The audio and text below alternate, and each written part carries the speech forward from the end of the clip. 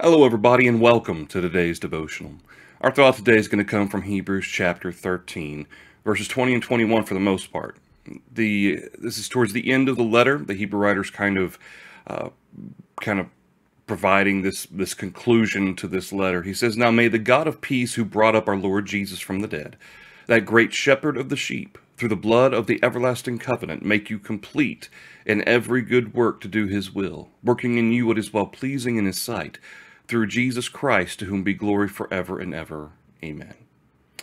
Now, obviously, this is a, a uh, kind of a prayer. It's a it's a desire for the Hebrew writer that he wants these brethren to grow. They, he wants them to continue to be to be profitable for the Lord.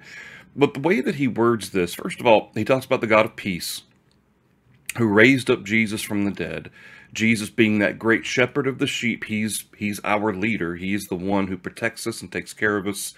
Uh, the blood of the everlasting covenant is certainly the means by which uh, we can be made complete in every good work. Uh, and certainly the that the blood of the everlasting covenant is the means by which we are the sheep of the great shepherd. The verse 21, when he says, Make you complete in every good work to do his will working in you, notice this phrase, what is well pleasing in his sight through, through Jesus Christ.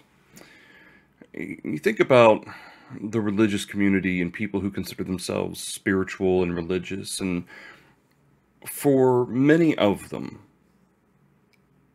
while they claim and want to think of themselves as seeking to do what God wants and and uh, being spiritual and religious, thinking they're saved, when push comes to shove, the majority of them, the question becomes is, are they doing what is well pleasing or seeking to do what is well pleasing in God's sight? Or are they doing and seeking to do what is well pleasing in their own sight? And we've talked before about good works and how that good works are defined by God. It's defined by uh, the scriptures. It's not it, we don't get to define what good works are, and yet people in our religious community they basically can chalk up just about anything they want to, and eventually you can. I mean, if you really try hard enough, you could justify just about anything as a good work in some form or fashion. And the idea of being well pleasing, it's the idea of well, being well pleasing fits very well with the idea of doing his will because it requires submission. It requires us to let go of our own interests and our own wants and desires and our own biases and give ourselves completely to the will of the Lord. That is the only way to be well pleasing to Him. We know that we have to have faith. And the Hebrew writer in Hebrews chapter 11 says that without faith it is impossible to please the Lord. But the interesting thing about the faith that he describes in Hebrews chapter 11, and indeed that the New Testament describes throughout Scripture, is that faith without works is dead. You can't just claim to believe in God and believe in Jesus and that that counts for something. James himself addresses that. Do you think faith, the idea of simply belief alone by itself, will save you? He says, even the demons believe and they tremble. That doesn't mean anything. Of course they believe. But are you willing to do what God tells you to do? And that's why he gets into chapter 2. He describes being a doer of the word and not a hearer only. Well, people push back on this because of passages like Ephesians chapter 2 and verse 8, for instance, he says, By grace you have been saved through faith, and not of yourselves, it is the gift of God, not of works, lest anyone should boast. And, and people try to, they, they, they accuse people like us who believe that it's necessary to obey the Lord uh, of believing in legalism or trying to push and bind legalism. And they'll come to Ephesians 2 9 and they'll say, See, works do not save us. Uh, in fact, up here in verse um, 5, by grace you have been saved. And again in verse 8, by grace you have been saved. Well, indeed, absolutely. And I'm not in any way contradicting what Paul says. By grace we have been saved. That is not something that we of ourselves could ever earn. But notice that Paul says we have been saved through faith.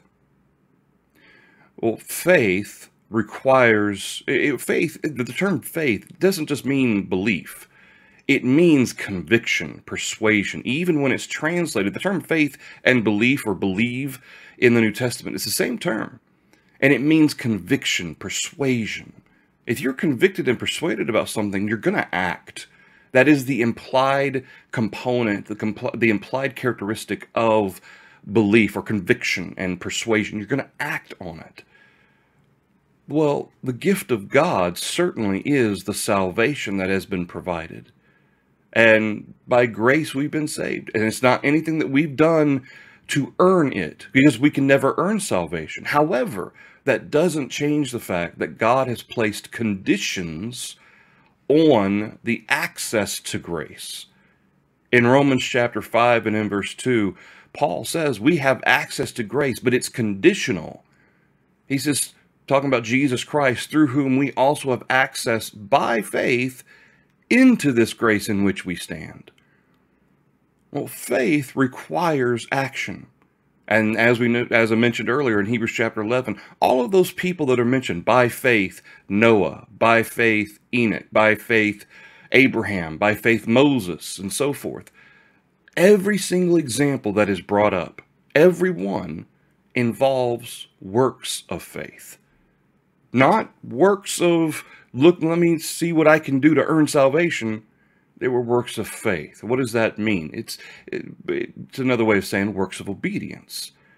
They obeyed God. They did what God told them to do. Thus, James says, Abraham was justified by works. And not just, I believe in the Lord, but I'm not going to do what he tells me to do. No, his faith was shown by his willingness to obey. Well, so going back to uh, Ephesians chapter 2 and verse 9 now, notice he says, Not of works, lest anyone should boast. I agree. Because we could never earn it ourselves. We could never be so perfect that our works earn us salvation. However, the very next verse, from what everybody, verse 8 and verse 9, everybody focuses on that. And then they say, see, that means baptism. Well, that's a work. And repentance, even though most people wouldn't argue with repentance, guess what? Repentance is a work. Uh, confession, guess what? Confession is a work. Verse 10 We are his workmanship, created in Christ Jesus for what? For good works, which God prepared beforehand that we should walk in them. This reiterates the fact that what we noted regarding good works, we don't get to define what a good work is. We don't get to just say, well, we're going to have uh, uh, at our at our at our congregation we're going to install a soup kitchen and we're going to install a basketball court and we're going to install a playground and we're going to install all this stuff because that's a good work. But why is it a good work? See good works require scriptural authority especially as a congregation of God's people but even as an individual who if I'm going to think about good works a lot of times people think about good works as being things that are polite or for that matter, things that that help someone else. These, these I'm seeking to help people. Well, okay, but are we using that standard to define good works based on how man thinks good works should be defined? Or are we using the standard that God has established to define good works?